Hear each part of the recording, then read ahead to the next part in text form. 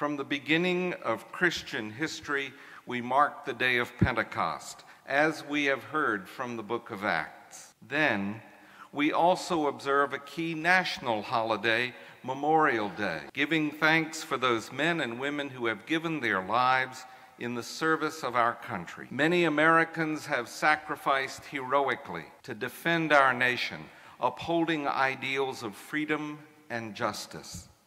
So, to honor our calling as Christians and as Americans, we must be one nation under God, indivisible, with liberty and justice for all.